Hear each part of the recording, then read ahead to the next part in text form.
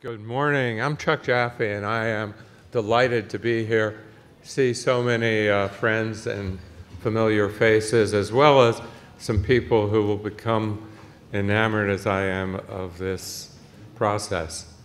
I think uh, it's exciting for FHIR because um, HL7 gave birth to this um, only eight years ago, and we'll be celebrating a rather young anniversary considering how important this has become on a global scale. Saturday evening, I came back from Korea where there was a Pan Asian event. Virtually all of the uh, countries participated. And the program was entitled Asia on Fire. Uh, from the very start, FHIR has been about community. It's been about collaboration. And for us, we're delighted to have uh, shared in this collaboration with Firely, who's uh, brought their program to North America. And we think it'll be the first of many such. But we really owe a lot of success in this community to many of the people who started the process, like the Argonaut Project uh, four years ago, that realized they needed to form a uh, coalition of the willing EHR vendors and health systems that wanted to support both FHIR development and, more importantly, FHIR implementation. More recently, the Da Vinci Project, uh, comprised of uh, the payer community and CMS. Uh, along the way, there have been uh, numerous agencies in the federal government in the US and elsewhere who brought their support to this important uh, process. Uh, the VA Lighthouse Project was announced earlier this year that'll provide veterans with not only their health information, but information about all their benefits through a uh, FHIR API gateway. And other federal agencies, one of which will be uh, making an important announcement later this week. Uh, the private sector has brought their support, and we'll hear from them at this meeting. And I think uh, for me, it was an exciting journey to hear Apple announce that they had embedded the Argonaut implementation guide uh, for FHIR into their operating system, and it will be the centerpiece for uh, their health kit and their patient-oriented apps. So without further ado, I welcome everyone, and I'd like to introduce my colleague, friend, and one of the leaders of the FHIR community, Ewout Kramer.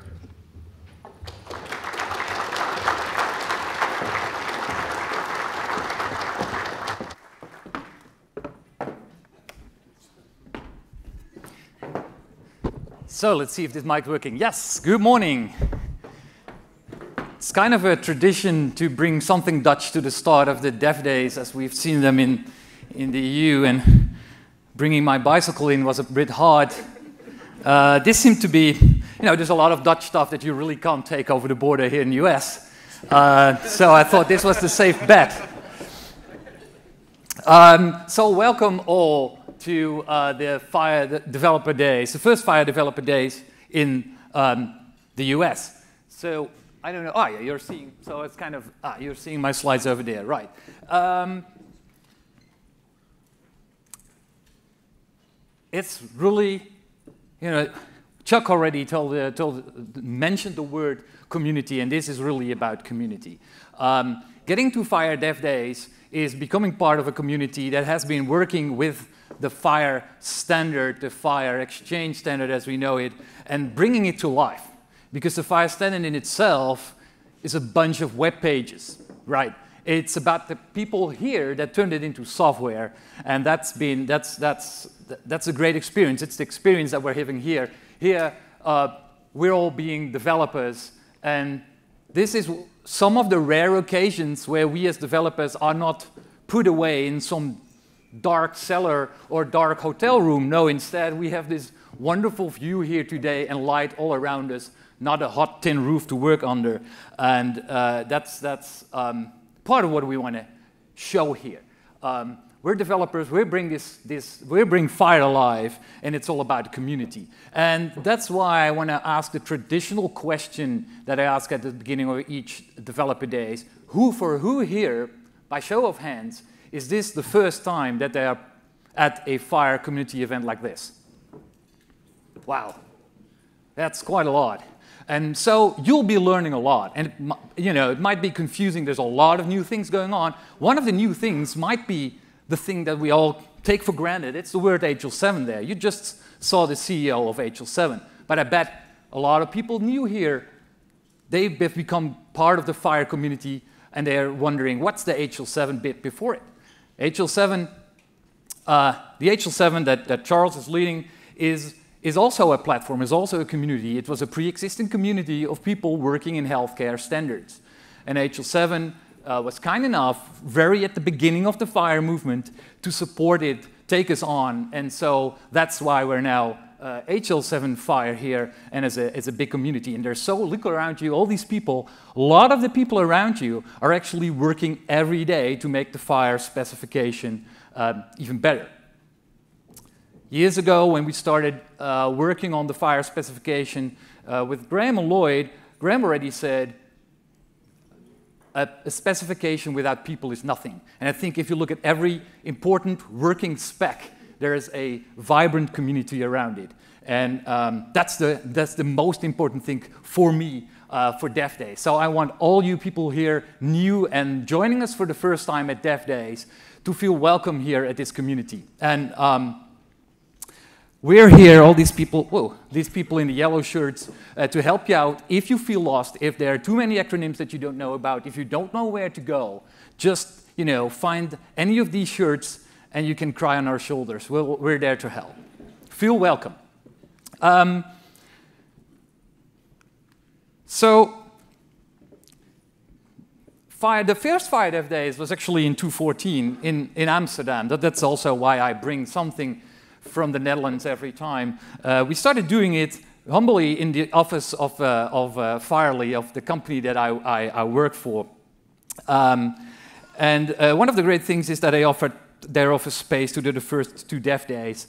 And then we got way too big and we grew to 16. We had 260 participants, so that was when the community really, really took off. And you can see that now, 217, we're at 380 people, and I'm, of course, thrilled that we're at that number, but we could have been even higher. You're the lucky ones here. There was a waiting list of 70 people who wanted also to be here today, but you made it here in this wonderful room, and uh, that's what we're going to do. Now, when I was creating this picture, I was looking for the Boston flag. Now, I'm totally assuming you don't know all all US flags belonging to the US cities. I didn't. So I found this flag as being the Boston flag, but it's actually not. This was a redesign because this is the actual Boston flag. Interesting. Blue with a lot of Latin and so on. And then I started Googling other flags of US cities. Um, New York, LA. Hey, we're developers here. You know, we're good at detecting patterns and, and, and, and generaliza making generalizations out of it. Let's go on. What happens? Um, Houston, I think, Phoenix, Philadelphia, San Antonio. The list goes on and on. We do see a pattern here.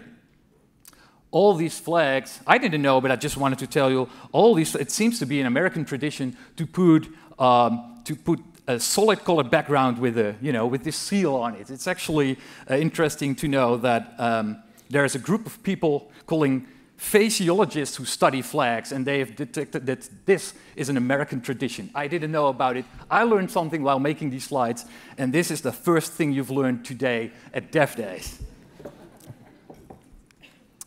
Okay. So now for the serious stuff. Most of the time, I'm just doing the logistics, and I will do that again here too. Uh, I told you already, the crew and the team are well recognizable by these yellow shirts. Um, they're up there as well, neatly aligned. And there is, well, you met, you met uh, the crew also at RegDesk.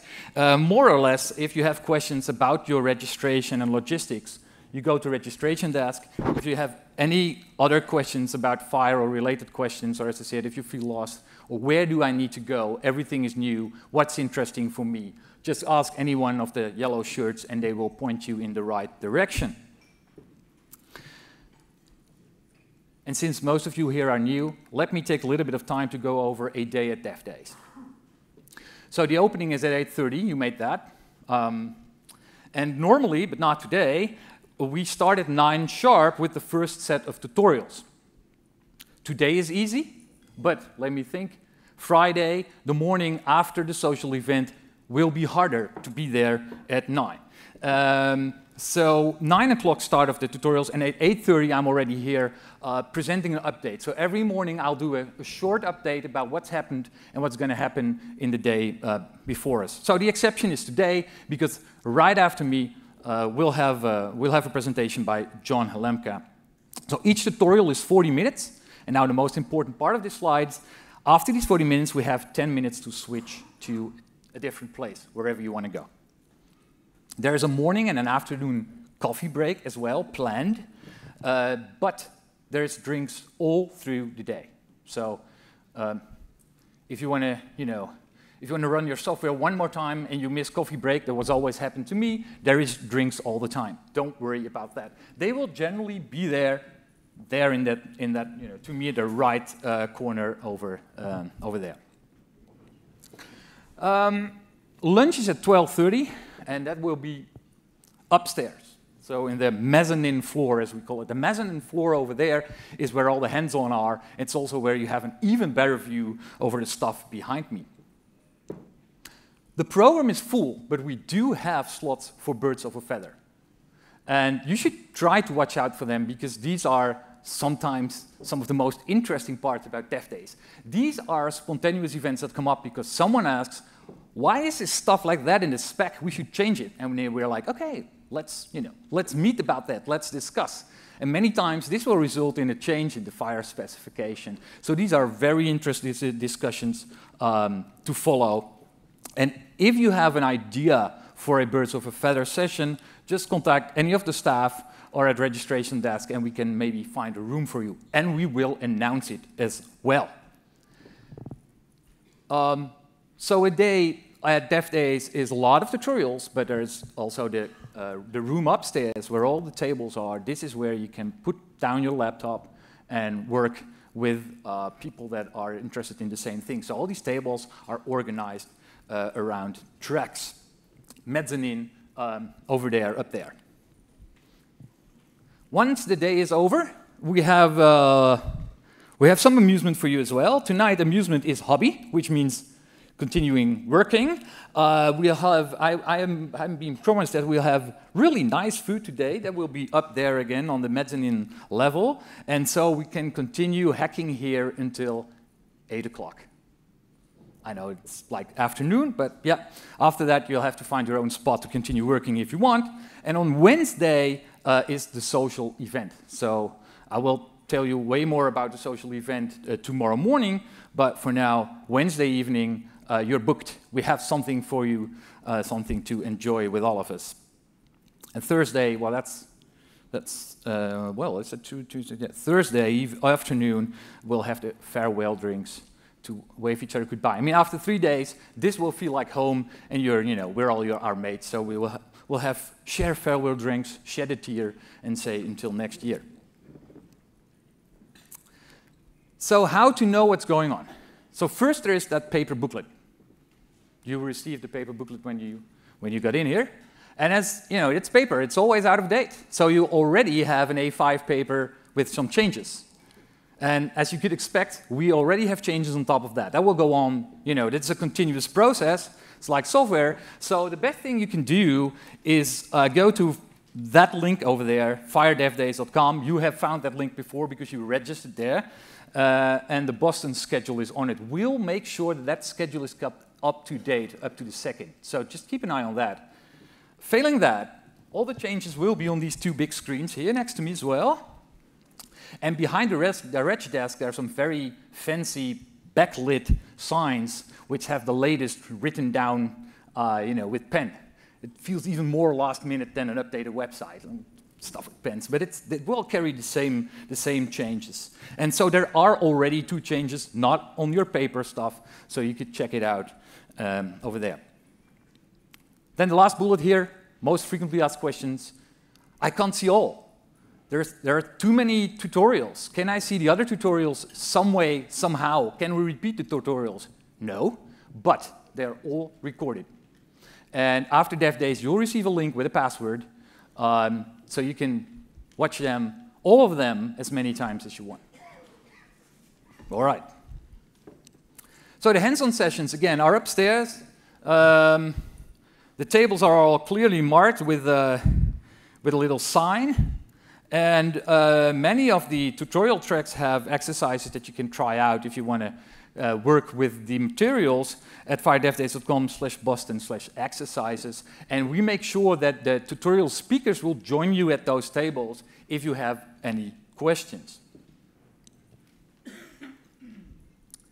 Now, the single most important thing is not on the first slide. It's the Wi-Fi password.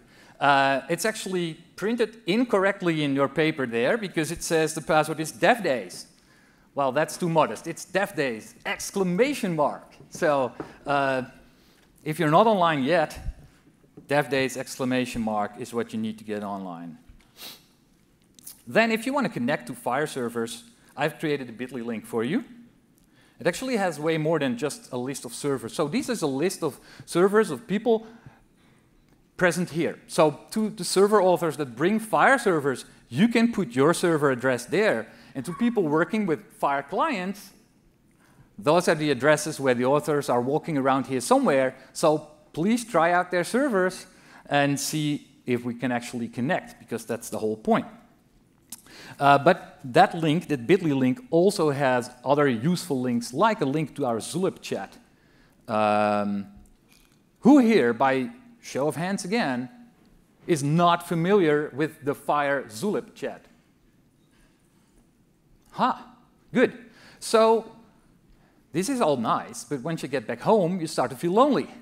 Uh, our Zulip channels are 24 hours a day um, community channels where you can ask questions and most of the time get answers within the hour.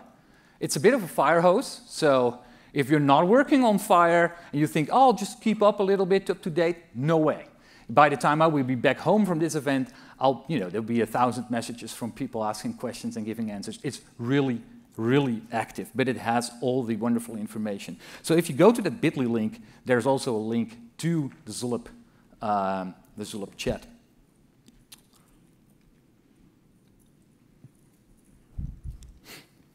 Then the general setup, so a little bit of the logistics here. This obviously is the great room, also known as the main room. Also used for weddings. If you go to the website of this beautiful building, you see all kinds of nice things you can do with this place, from concerts to weddings. So if you still have plans, you might consider this. It's a good building. Um, and if you...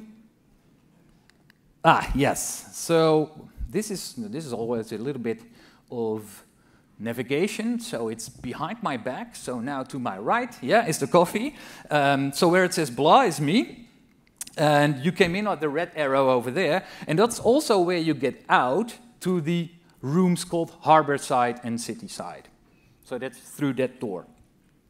Obviously, if you take the stairs up here, you get to the mezzanine loft where the, uh, where the hacking is, and the circle is around the area where you have drinks uh, all day. Then this is upstairs. So this is where the coffee is, dinner tonight, and lunch as well. And then we have four rooms called city side and harbor side. There are two rooms on that side, unsurprisingly called harbor side, and then there are two rooms on that side called city side, and there's a logic to them. They, they, they didn't reuse numbers. They actually numbered 1, 2, 3, and 4. So there's no harbor side 2 and city side 2. No, it's 1, 2, 3, and 4. And the odd ones are the rooms on this side, and the even ones are the room on that side, on, on the other side. You don't need to know. Uh, all you need to know is get back out there, and then know that city side is on that side, and harbor side is on that side. One, two, three, and four. But if you're looking for patterns, which I did, I noticed that the odd numbers are on, on this side of the room. Um, about the Connectathon space. During educational sessions, you can, of course, leave your laptop there, but it, this is an unguarded room. I mean, we're all there, so you can ask your neighbor or just trust everyone here, but it's an unguarded room. Um, I would surely take your stuff at the end of the day. Well, that's I don't think I will really need to say. But and on Friday, if you need to move out and you have your trolley here or anything, we have storage space available, so you can uh, bring your trolley. Though the slide says limited room available. Uh, smoking is only allowed outside, which I suppose means 34, 31 floors down on the street. I'm, I'm not sure, but um, that's a way to discourage smoking. And um, in case of fire for all the green signs, well, that's in, that's in Europe. Here it's the exit signs, I guess. Yeah. Highlights for today. So, uh, what's the program looking like uh, today? Um, at 9 o'clock, but I'm actually finishing a little bit early, that's good. Um, we have a talk uh, from John Halamka about emerging innovations in healthcare. Um, you all know uh, John. I, I, found a picture from him on the internet. Here's John. And this shows that John's been with innovation and technology for a long, long time. This is actually 10 year old John winning the science fair in fourth grade with his home built Van de Graaff generator back in 1972. Uh, so John's been uh, well, he said it himself, a technology nerd there for a long, long time. So I'm really looking forward to what he's going to tell us about emerging innovations in healthcare. And afterwards, uh, there's always something weird going on at Dev Days. From 3 to 7, so 1500 to 1900 hours in Euro speak, that's 3 p.m. to 7 p.m. here. Um, photo booth with drinks, so you can make kind of weird pictures to show that you are really here and make fun of yourself. If you want, you can, you can ask me for these and put these on the pictures as well. They're size 44. And there are drinks available as well. Um, finally, all of this here hasn't been, wouldn't be possible without our sponsors, uh, especially our, our, host sponsor, uh, InterSystems, who made sure that we could use this beautiful venue where we are here at. So uh, thanks to them and uh, our gold and sil silver sponsors, Allscripts, Avrant, PCHA, and Cerner. If you want to, and we'd really like you to, Twitter or say anything about Dev Days, please use these Twitter tags. And of course, you can follow us for the last details um, on these ones. So that's enough logistical details for now, I think. So we can just sit back, relax, and enjoy what John is going to tell us. Well, welcome to John.